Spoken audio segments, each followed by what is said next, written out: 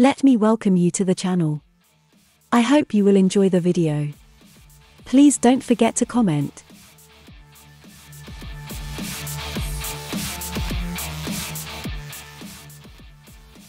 The fan-tailed raven, Corvus rhipidurus, is a passerine bird of the crow family native to eastern Africa and the Arabian Peninsula. The fan-tailed raven is completely black including bill, legs and feet and the plumage has a purplish blue gloss in good light. Worn plumage is slightly copper brown.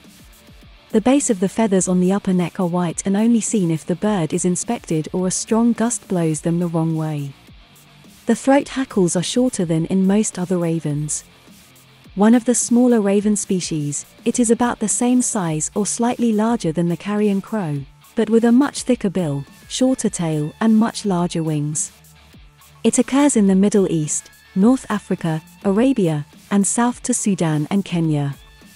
It also ranges across the Aïr Massif in the southern Sahara. It lives in desert or open dry country that includes crags for nesting. It is one of the most aerial of birds traveling huge distances in search of food, its large wings being adapted to gliding on thermals in a rather vulture-like way.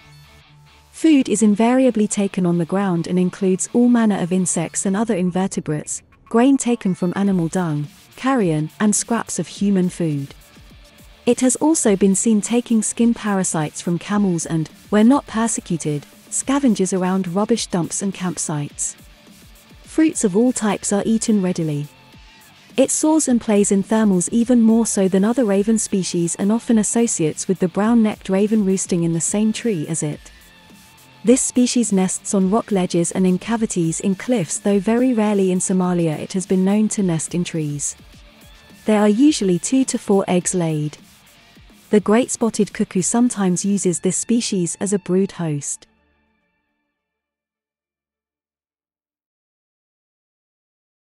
Thank you for your patronage.